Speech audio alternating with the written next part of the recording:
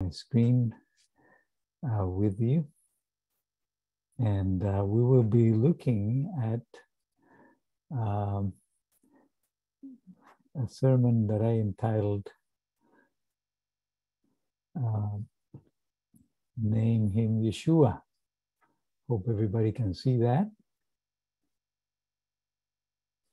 Okay, I think you can.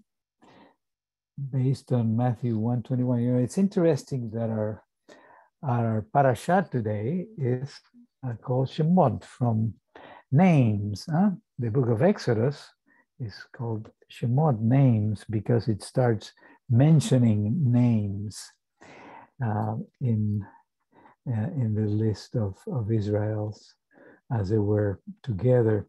So I want to uh, begin by uh, sharing a few things, make you think about the names and make you think about Yeshua. You know, uh, there's a lot of uh, discussion sometimes um, about Yeshua's birth, about uh, this time of the year.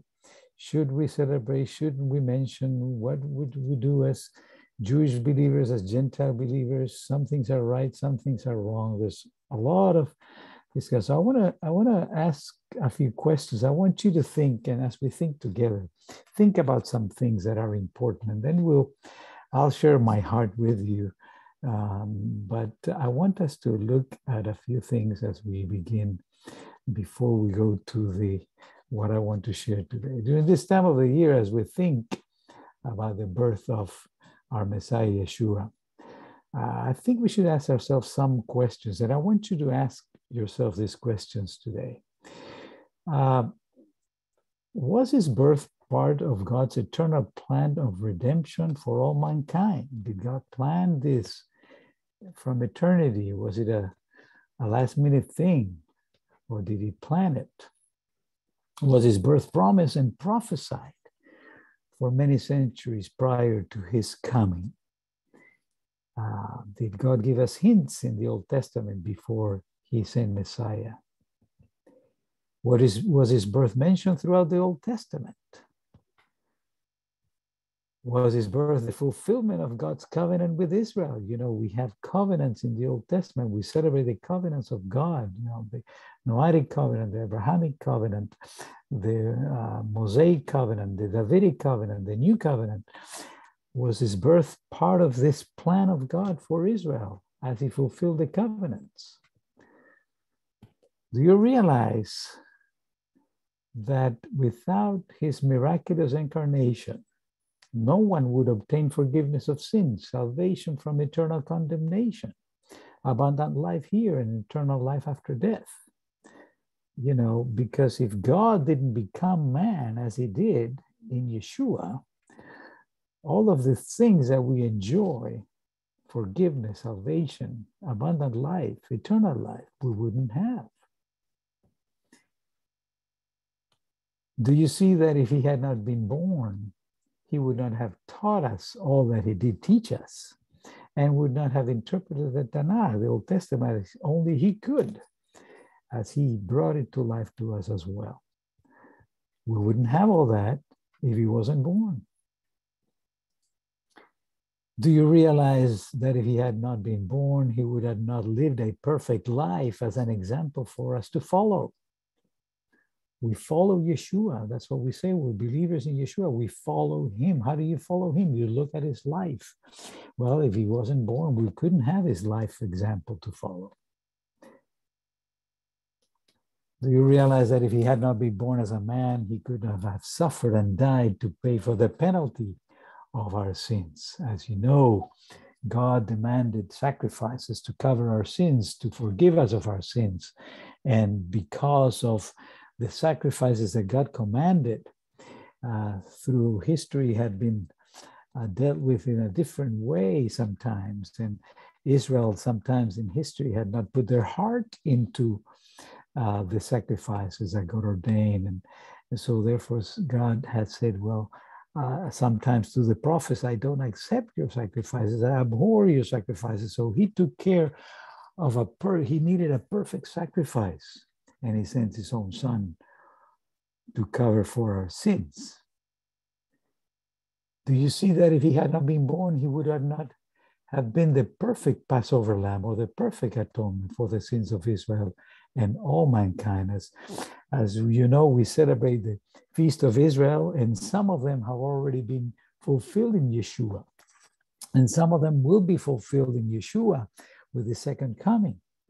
Uh, but one of the ones that we celebrate so dearly to us, the Passover, Pesach, and uh, all the images and all the symbols of Pesach point towards Yeshua as a Passover lamb, the perfect atonement for our sins. If he hadn't been born, he could have not fulfilled this. And do you realize that if he had not been born, lived, suffered, and died as he did, he would have not conquered death by raising, by rising from the tomb. Hmm. He is the only one that rose from the dead and lived forever. You know, he performed miracles, and we read in scripture that he raised others from the dead, but those that were raised from the dead died again eventually. But Yeshua is the only one that, after having died, rose from the dead and now lives forever. And so, do you see that because of all this, we have the hope of our own resurrection and the assurance of eternal life? That's what he promised us because where I go, you shall live also. Where I, because I live, you will be also, he said. And he told us he, he went to prepare, as he ascended into heaven, he went to prepare a place for us, for those believers that follow him. And he gave us assurance that we'll spend eternity with him. If he hadn't been born, we wouldn't have had all that. So these biblical characters, Miriam, his mother, huh? Joseph, his, his earthly father, Elizabeth, and Zachariah, Yeshua's uncles, and Simeon, the man that we talked about a few weeks ago, the one man at the temple, a righteous man who saw him and he saw him as a, as God's promise being fulfilled. And Hannah, the, the prophetess, that he, she praised the Lord at the temple and shared with everyone that the Messiah promise had come.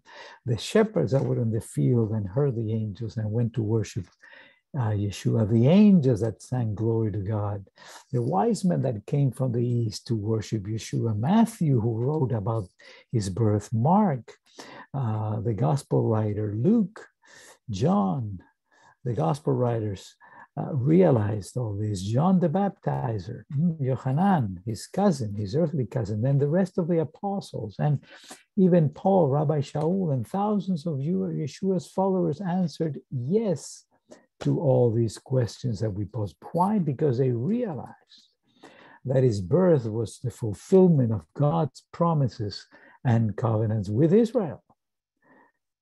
So they, they, they answered yes to these things because they saw who he was and God fulfilling his promises. And that's why they thought it was important to rejoice and celebrate Yeshua's birth. And they did rejoice in his birth and they did glory to God. Now, uh, there are many passages. That's why God included many passages of scripture in the Old Testament that talk about his coming. These are just a few. Genesis 3.15, Sam, 2 Samuel 7, 12 through 14, Isaiah 7.14, Isaiah 9, 6 and 7, Micah 5, 2, and others, the Psalms and others from, uh, from the uh, from the uh, prophets and uh, the writings. Uh, there's, there's hundreds and hundreds of mentions of Yeshua's birth that's why God included because he's an important part of our faith.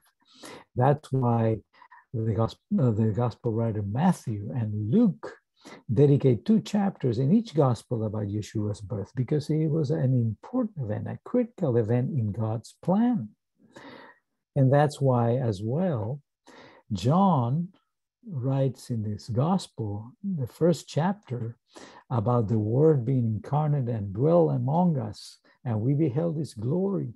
Mm. And the light, he was the light that came to the world because they realized this was uh, God's promises and prophecies being fulfilled about the coming Messiah. And that's why Rabbi Shaul, Paul makes reference to his birth several times in his writings, but especially in the book of Philippians, chapter 2, and we're going to look at that in a few minutes. So there's there is plenty of reasons why it's important. Now, we can disagree on the date of his birth. In fact, as we know, the date was just chosen by some leaders many centuries later, uh, just to put a date to celebrate his birth. And I understand that we can disagree on that, but what, eh, what better time is my thinking?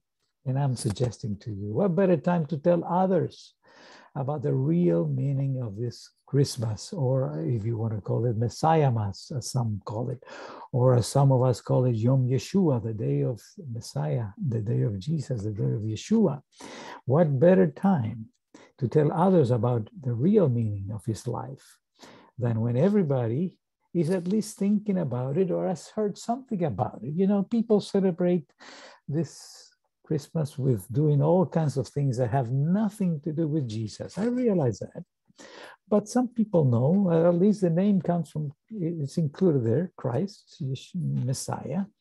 Uh, at least they've heard something about it. At least they know that some congregations and churches are thinking about Yeshua. At least they know something. So why not take advantage of this time to tell others about his birth. What better time to tell others about the, the birth of Messiah than when many churches, as I said, rightly or wrongly, hmm, are celebrating his birth. Sometimes they have things that are just traditions, but we have some of those as well. But what a better time to take advantage of this and do it. I, I like what Paul, Rabbi Shaul says in, in Philippians 1, 1 uh, 15 through 18. Remember, he was in jail he was in prison, and it says that some people were using this uh, his his being in prison as something. Uh, let me read some of those verses to you. Uh, starting on verse 12, for instance, he says, Now I want you to know, brothers, that what has happened to me has actually resulted in the advantage of the gospel, advancement of the gospel, so that it has become known throughout the whole imperial guard and to everyone else that my imprisonment is for Messiah.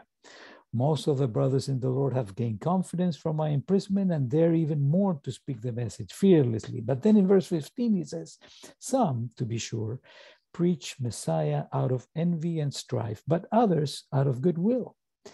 These do so out of love, knowing that I'm appointed to the defense of the gospel. The others, proclaim Messiah out of rivalry, not sincerely, seeking to cause me trouble in my imprisonment.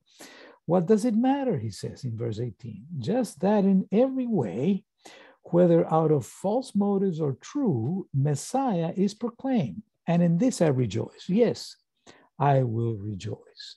So, in other words, he says, even when there's some wrong reasons and it's not done the right way, at least the name of Messiah Christ is being proclaimed.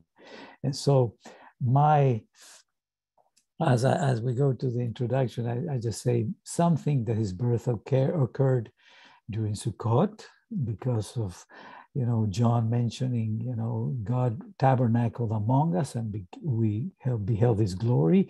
Some say because the shepherds were out in the field, so it must have not been too too cold, so it would make sense uh, celebrated Sukkot. It's a better date, maybe, although I've read uh, lately that some of the shepherds in the Middle East stay out all year round with the sheep. But that's okay. That could be, Sukkot could be a good date. Well, I would say then let's celebrate it during Sukkot. Let's, let's make a big deal about Messiah coming in Sukkot. But the truth of the matter is that most of us don't think about uh, celebrating the Messiah's birth during Sukkot. We celebrate what Israel did during the during the wilderness, and uh, we do all that, but very few, at least I haven't heard uh, anyone mention it, the birth of Messiah during Sukkot. So some people use the argument that uh, we are not commanded in Scripture to celebrate his birth. Well, this is true.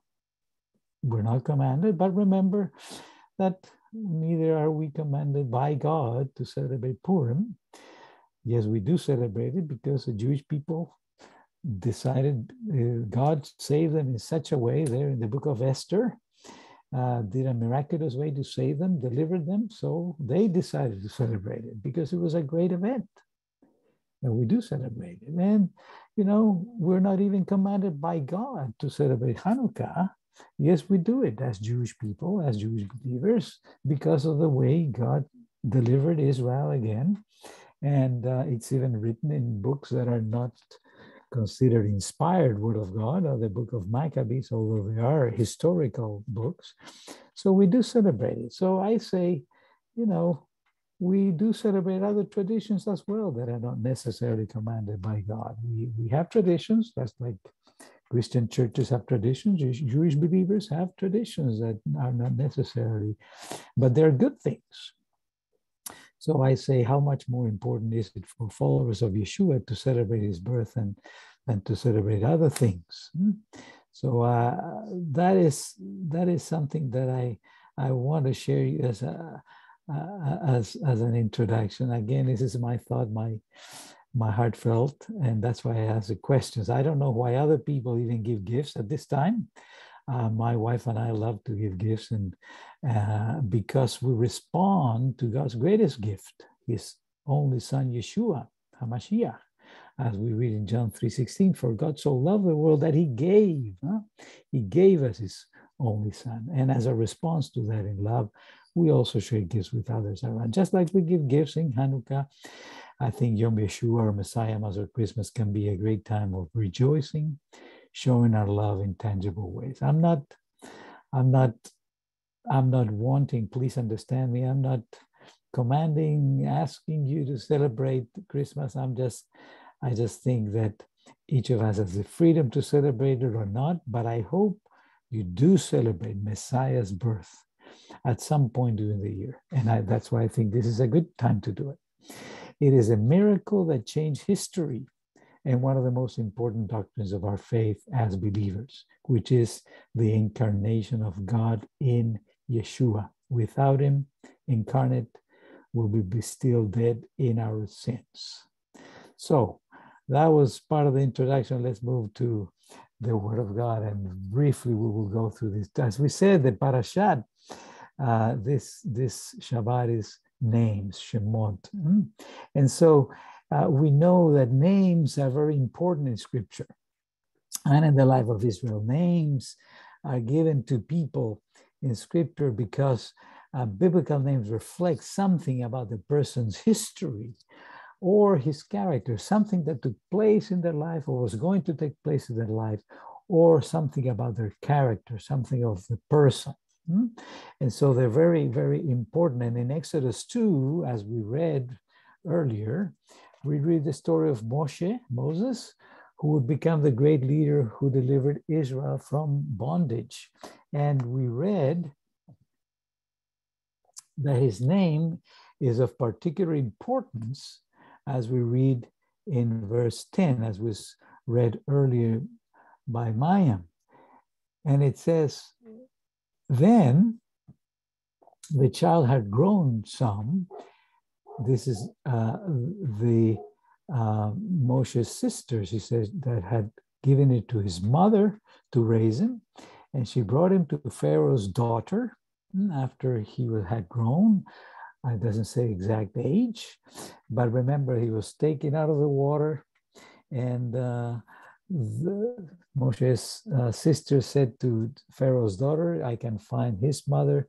To uh, some uh, Hebrew mother to raise him, and she found his mother, and Pharaoh's daughter agreed. Then she brought him back to him, to her, and then she says, she began to raise him as her son, very important, and she called him Moshe, which means pull out, because I pulled him out of the water, she says. So this is important uh, because it's interesting to see that the name not only refers to his childhood event when it took him out of the water of the Nile River, but also, I think, he was also pointing out to the future when Moshe would lead Israel to cross the Red Sea, and in a way, figuratively, God will pull them out of the water. Huh? In Exodus 14, when we see they're crossing the Red Sea and they cross in dry water, the God opened the waters, and uh, and they cross. In a sense, God was taking, pulling them out of the water as well.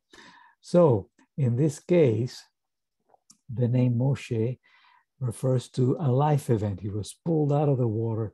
He will be also part of the Exodus crossing the Nile River. So that refers to this life event.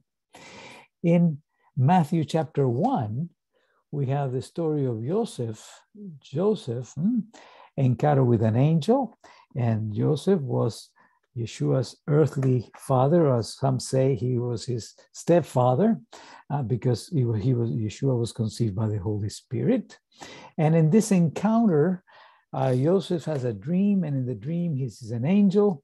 And in verse 20 of chapter 1, the angel assures Joseph that it's okay to take Miriam, Miriam as his wife because the child that she was carrying was conceived by the Holy Spirit, the Ruach HaKodesh.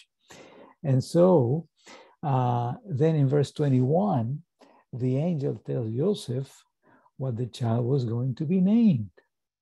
And she says, the angel says, Joseph, she will give birth to a son, and you are named to name him Yeshua, which means Adonai saves. Why? Because he will save his people from his sins. We read in Matthew 1 21.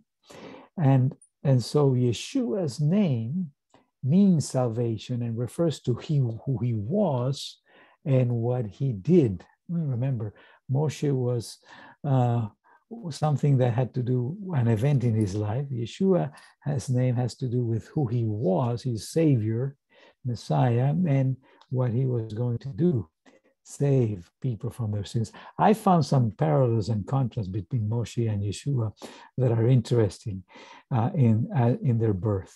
Moshe was born into a Jewish family. Hmm? It says that he was born, Yeshua as well was born into a Jewish family although they were from different tribes. Huh? Uh, Moshe's family was from the tribe of Levi or Levi. Uh, Yeshua's family was from the tribe of Judah, hmm, descendant of David, as a matter of fact, uh, because he had to fulfill those things. Uh, you remember that uh, the king of Egypt in the previous chapter, uh, chapter one of, uh, of Exodus, it tells that because the Jewish people were growing so much, he was concerned that they would take over Egypt. So he decided to kill all the boys, the king of Egypt. Well, in Yeshua's time as well, when the wise men showed up asking for who, where is the king of the Jews, King Herod later tried to, uh, had all the children uh, um, younger than two years old uh, killed as well. So there's some parallels. Uh, Moshe was raised in the king's palace as um, the daughter, uh, the um, Pharaoh's daughter raised him. Uh, so he was in the rich uh, you know, palace, although Yeshua was raised as a camp- carpenter's son. So he was a humbler, a humbler uh, environment than where Moshe was raised. Uh, but it's interesting also that Pharaoh's daughter adopted. He says she raised him as his son. Some other versions say she adopted him as his son, Moshe as, as her son, excuse me. Uh, and this is interesting because Joseph also took Yeshua as his own son, although he had no part in his conception interesting as well, uh, Moshe delivered Israel from slavery in Egypt. And as we know, Yeshua delivered Israel and the whole world from the slavery from sin.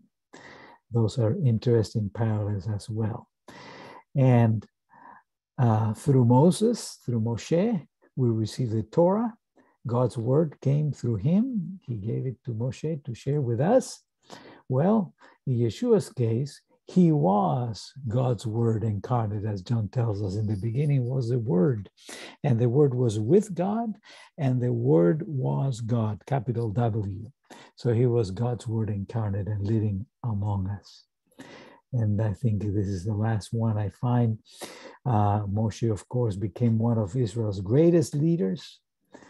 Uh, and Yeshua became the greatest leader in Israel's history and in the history of the world. Hmm. Uh, he changed history. and is still regarded, even for those who do not believe in him, as one of the greatest leaders of the whole world. Well, Yeshua's name is above all names. Uh, this is one of my favorite passages.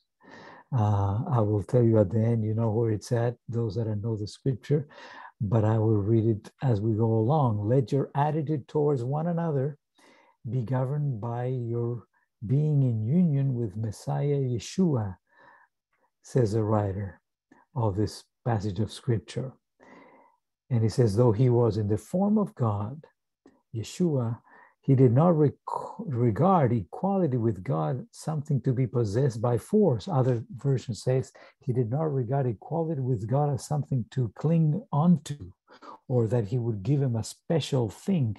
He he was with God, he was God, but he didn't use that uh, as something to cling on to. Rather, on the contrary, the writer says, he emptied himself, Yeshua emptied himself from being God and he took the form of a slave, becoming like human beings are.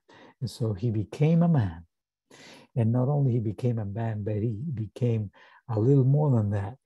He took human form, and the writer says, and when he appeared as a human being, he humbled himself still more. Not only he humbled himself by becoming human from being God, becoming human, but he also became obedient to God the Father, even to death.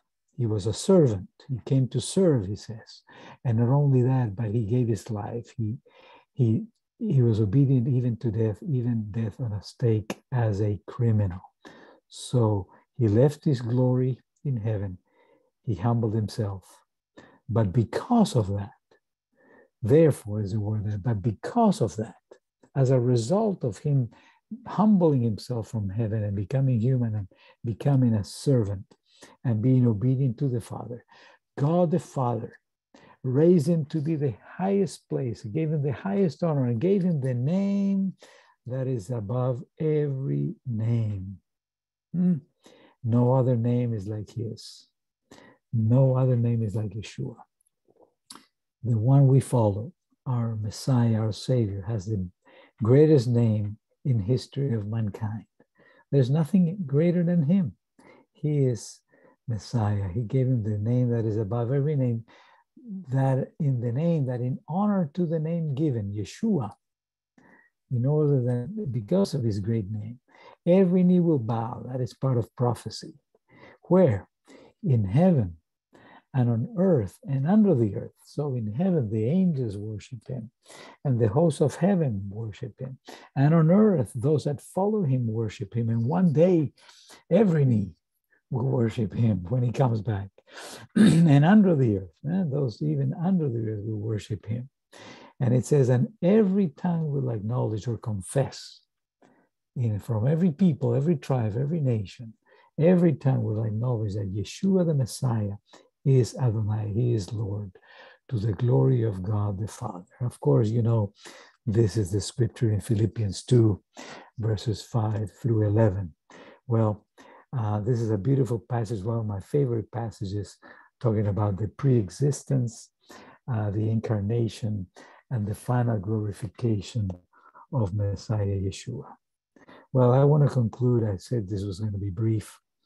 One of the conclusions Messiah's, Yeshua's birth, I think you will agree with me, is worth remembering and celebrating for its, its significance. It is worth celebrating and remembering.